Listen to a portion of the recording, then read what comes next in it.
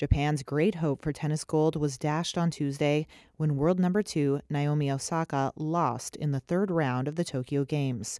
Days after lighting the Olympic cauldron, Japan's Osaka suffered a 6 1 6 4 loss to Czech player Marketa Vondrousova. Osaka never settled into a rhythm on the courts. She made 18 unforced errors throughout the match, three times more errors than Vondrousova. It was Osaka's first tournament since pulling out of the French Open in May when she announced she had been suffering from depression for almost three years. Osaka had said she would skip post match press conferences to raise awareness of players' mental well being, but after her Olympic defeat, she told reporters, quote, I definitely feel like there was a lot of pressure this time around, adding, I think it's maybe because I haven't played in an Olympics before, and for the first one to be here was a bit much.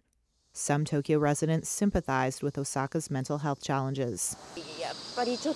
I honestly think the anxiety is still impacting her a bit. Her defeat was a bit fast, so I think she wasn't in a perfect state.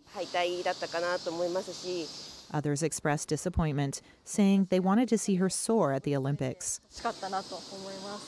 Japan's Kei Nishikori, who achieved a three set victory in men's singles after Osaka's loss, said her elimination was sad, adding, quote, I knew she had a lot of pressure. This is her first time Olympics, and I know it's not easy.